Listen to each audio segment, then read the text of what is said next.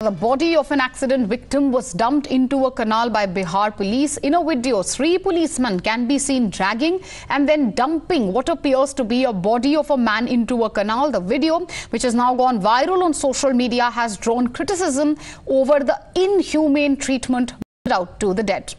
मुजफ्फरपुर में जिस जगह ये घटना घटी है फकुली वो यहाँ जो आप थाना देख रहे हैं मेरे पीछे उससे महज आधे किलोमीटर की दूरी पर ये फकुली थाना है फकुली थाना से ये आधा किलोमीटर आगे अगर मुजफ्फरपुर के तरफ़ बढ़ेंगे तो ये वहीं पर जो नहर पर पुल है, उसी जगह ये पूरी घटना घटी है और ये फकुली ओपी है।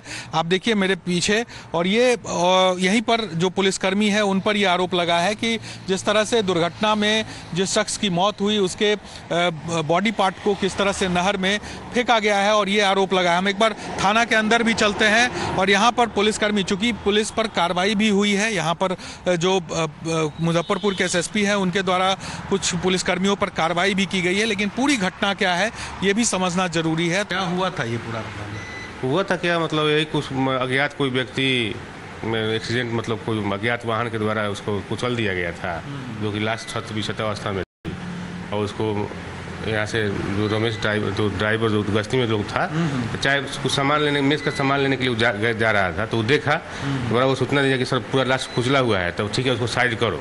तो उसी को साइड करके रेलिंग को रख रहा था। उसी साइड करने में कुछ गिर गया तो फिर बड़ा वो सोचना तो फिर बड़ा वो वहाँ पहुँचे। और पहुँच कर उसको अपना सब समेट के पोस्टमार्टम में भेजा गया। लेकिन वो तो फेंकता हुआ वीडियो जो है वो तो नहर में फेंकता हुआ रेलिंग रेलिंग पर रखा जा रहा था उसको नहीं जान सस्पेंड हुए हैं दो हाँ, ये हम सुने हैं हाँ। अच्छा, जो ड्राइवर है गश्ती में थे उन पर भी कार्रवाई हुई हाँ। हाँ हाँ हाँ सस्पेंड हुए हैं। क्या लगता है कि इस तरह से करना चाहिए? आप चूँकि आप पुलिस में है लेकिन एक आम आदमी भी है। आप तो ऐसे शब को लगता है कि फेंकना चाहिए? नहीं नहीं नहीं ऐसा तो नहीं होता अमानवीय आइडेंटिफिकेशन सबसे पहले ज़रूरी होती है। हम्म, हम्म, लेकिन ऐसा नहीं किया गया।